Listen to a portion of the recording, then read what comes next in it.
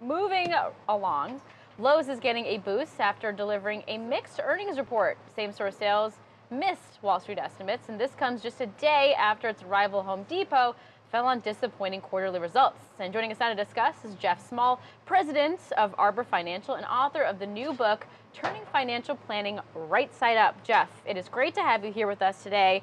So, investors kind of mixed on what's happening with Lowe's here. There are some positives, though. It did close up 2.5%. Guidance was positive. So, what are the positives that we're looking at here?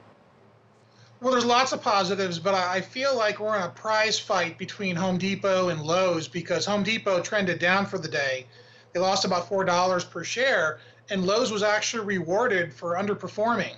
And so, but the reality is the market is rewarding Lowe's because the same store comp sales between Home Depot, which has been vastly superior historically, are getting closer and closer.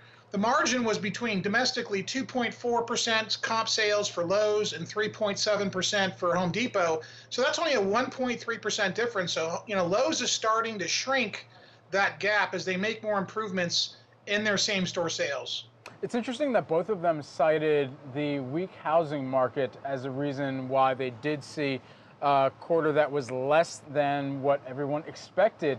But it's interesting because just nine months ago, you had the CFO of Home Depot saying if you do have a weak housing market, then in theory that means people are going to do more home renovation projects. But why are they shifting the tone here is the big question, Jeff.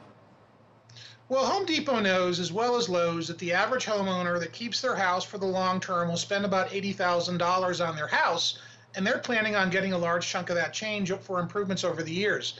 But now we're seeing a massive rift or maybe a lot of consumer spending that's not happening anymore. We're seeing declines in retail, restaurants, purchases, real estate, consumers. And so we're seeing a lot of declines in consumer spending. So people are starting to pull back. And Home Depot and Lowe's are not going to be impenetrable from that fall off in consumer spending. So a lot of people have cited Home Depot and Lowe's as the few types of retail companies that are immune to the Amazon effect because people still want to go in person and look at things uh, in real life when it comes to home improvement. Do you think that's still the case, Jeff? You know, I, I really do because people want to see what they're buying and they want to touch what they're buying. They're, it's a tangible purchase where, you know, with Amazon, it's about how do I get something that I want for the lowest price. And so people aren't going to shop on Amazon for equipment that they're going to buy at Home Depot for self home improvement stuff or at Lowe's as well. You want to actually physically go to the store.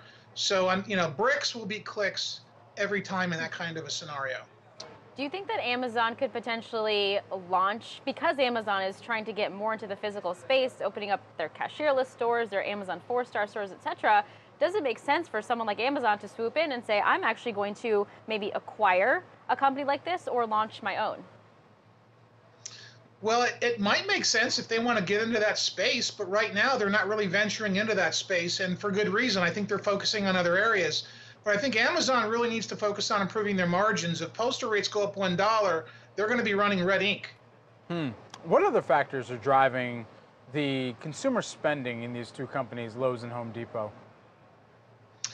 Well, I think uh, you know what really happened was in December and from October to December of last year, you know, we had the 19.8% correction on the markets, mm-hmm. and that really dampened consumer spending in general. Consumer spending will pick back up in February, and the numbers for both Lowe's and Home Depot, at least on the retail side of the equation, will begin to improve. I mean, I think the consumer spending outlook this year is to be fairly decent, maybe a 4% rise year over year, and with GDP projected to be around 2.5%.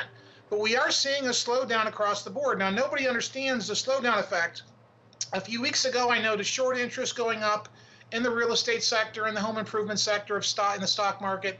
And I said, you know what? There's something going on in the economy. We're starting to see real estate really slow down considerably. Yeah. And I think I made this call a few weeks ago when I was on your show that, you know, the mortgage fall off applications that we had 25% last quarter was not just for the big banks. It's across the entire real estate sector and in every aspect of financing, we're seeing things fall off. And if people right. aren't buying homes then they certainly aren't going to be going down to Home Depot for improvements. Jeff, just want to jump in real quick here uh, with the little bit of time we have left. Weather, we typically see that play some type of role in their commentary coming out of the winter and then even summer with the hurricane season at the tail end of it, uh, the summer quarters as well. And so, uh, how closely do you think both of these companies are watching what has been extremely frigid temperatures in some parts of the U.S. here?